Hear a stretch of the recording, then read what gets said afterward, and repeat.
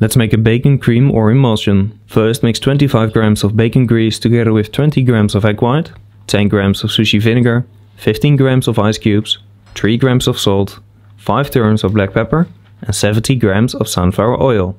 Now blend this till it's a smooth emulsion.